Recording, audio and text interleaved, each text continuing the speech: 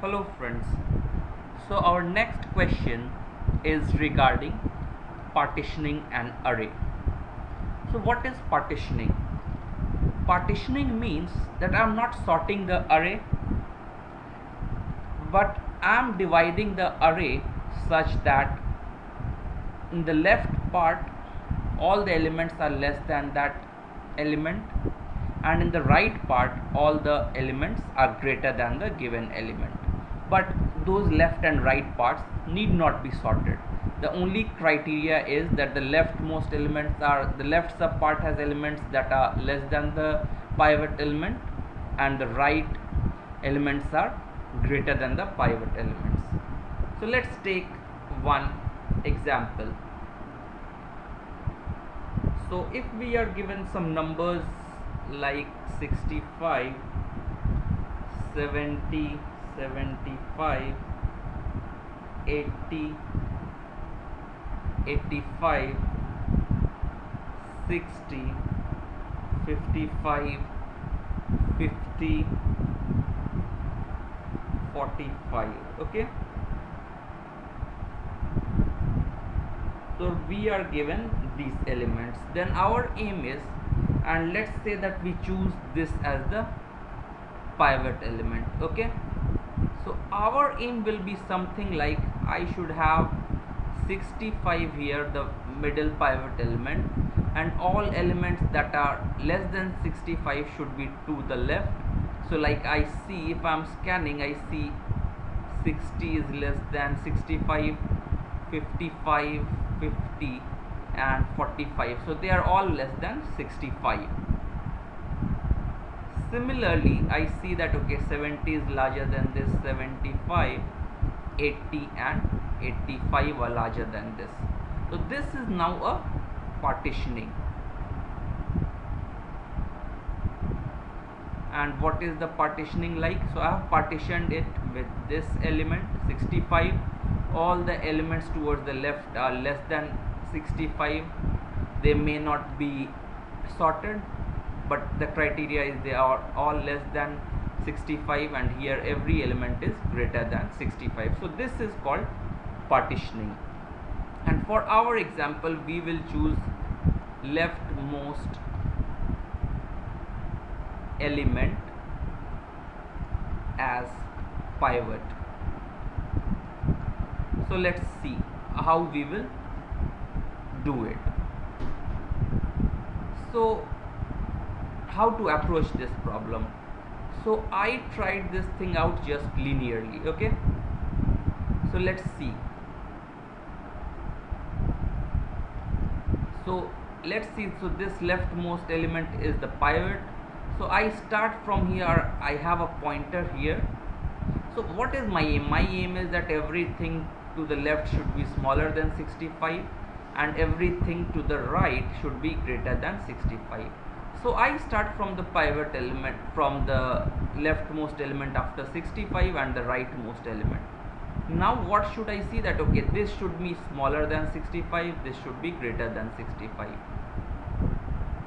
and if the case is true here then I will increase but here I see 670 is greater than 65 so I should stop here and I see 45 is so let's color it with some different color. Let it be green okay? So this is uh, green. And so what happens now? So this stops here. And this right pivot pointer stops here. So now what I see that okay because they are at wrong places so I can swap a2 and a9 okay? I swap them so now what it becomes? So this one goes and 70 goes here. So now what will happen? We have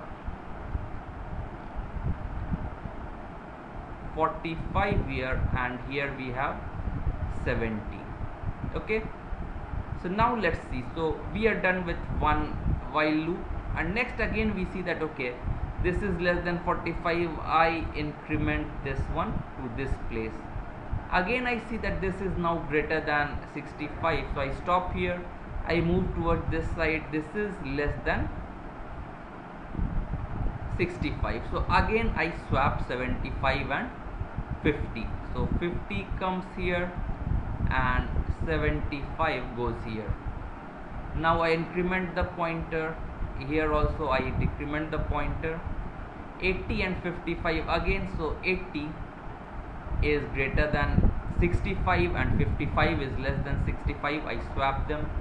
So this becomes 55 this becomes 80 again the pointer moves here. This one comes here. So 85 is greater than 65 60 is less than 65 I swap them. So what happens now? And now this pointer comes here and this pointer goes here. So this has exchanged so our work is done. Basically we have formed now. So this is 45 50 55 60 they are all less than this element.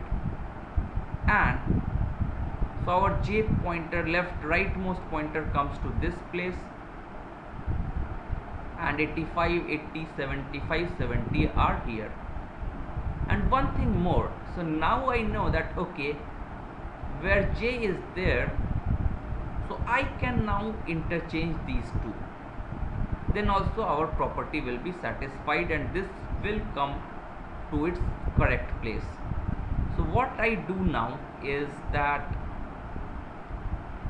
I make swap j with this one. So 65 comes here and 60 goes there. So let's write this array again the new one. 60 45 50 55 65 is the pivot.